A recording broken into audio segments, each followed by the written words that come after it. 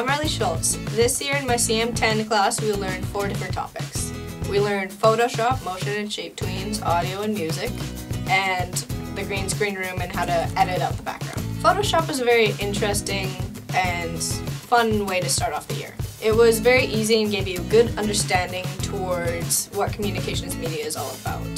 This is a photo of my friend. I edited out her eyebrows and blemishes.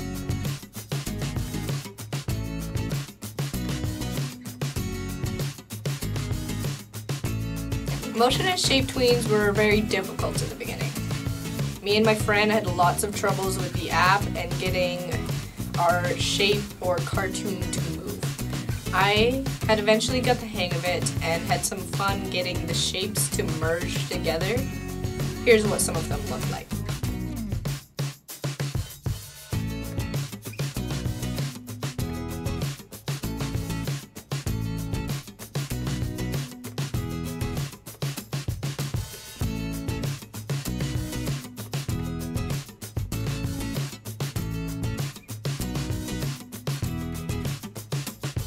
With the audio, as in the microphone, and having to say a nursery rhyme.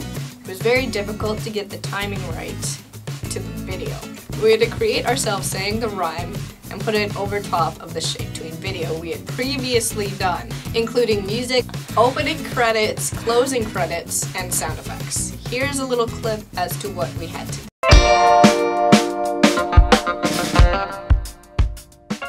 Mary had a little had a little lamb fleece as white as snow. And everywhere that Mary went, Mary went, Mary went. Everywhere that Mary went, the lamb was sure to go. Green screen was the most recent thing we had done. I had done both of my projects with my friend Reagan Slosher.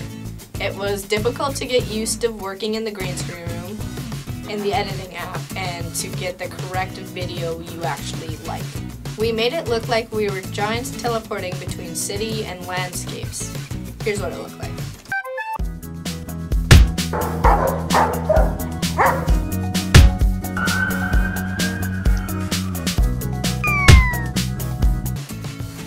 I were to continue the study of multimedia, I would be able to be a web designer who knows what is needed to make an effective website that is functional and easy to use. It makes it visually appealing to viewers or customers. It could also be a graphic designer. They develop the layout and design for varieties of ad advertisements, as in brochures and magazines. I could also be a film editor who assembles different footage into a sequence of events of events. They also edit dialogue scenes and edit the mess ups out. There's many more opportunities in the multimedia field. Things I learned that weren't outcomes were things like organization, so I knew exactly where everything was for a fact and didn't have to go searching for things. I also learned that keeping things in a folder is a lot easier than just letting them float around and possibly lose them and have to restart. This class has many different projects listed as labs and are organized as numbers. Examples like lab 00, 01, 02, and so on. The only cons of this system are confusions between labs, like you might think that lab 5 is actually lab 4 or something and hand in something you weren't supposed to. Sometimes we weren't given enough time and got too behind.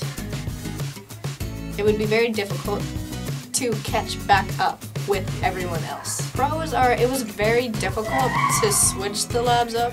It was a very easy way to keep track of what we had done. And Mr. Lendrum was very nice to let us know what we haven't handed in. How he would mark them is we would put our project into his folder and he would play the video in front of the class. He would also put the outline on the website where we'd have to fill in our names and when it was marked and what we had done on it. We would then hand it in and he would mark off the paper we had printed off. The cons of this, we would forget to hand it in to his folder or forget to print off some things. and have to go and fix it. Other than that, there are no cons to the system. The system is very good and allows us to fully understand what we are supposed to do and, and how we will be marked. The journal writing is a sheet of paper we put in a duotang to reflect what we have learned and done in our last week. We write what we have learned, who we have helped, and who has helped us with our classwork, or a new subject, topic, or app. We also, if we have any concerns or struggles. Pro of this is that we realize how much we are actually learning in this class in a short amount of time. The con is that we actually have less time to actually do classwork that may actually be necessary on some occasions to get projects done on time. He makes us write this so he knows that we are understanding what we are supposed to do, and so he knows that we aren't stuck on any projects. For anyone taking the class next year, get ahead as much as you can because you might be struggling at the end of the year to get things done. Pros are it is easy to get ahead and it is a very easy class in my eyes and it is very fun. The cons are sometimes deadlines will creep up on you and you just need to stay calm and keep going through your projects, making sure you have them.